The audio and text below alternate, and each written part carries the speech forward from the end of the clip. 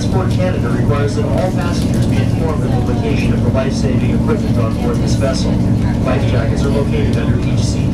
Children's life jackets are in marked lockers adjacent to the crew station and will be distributed by the crew. There are three muster stations located midship. Each muster station contains a 150-person life raft.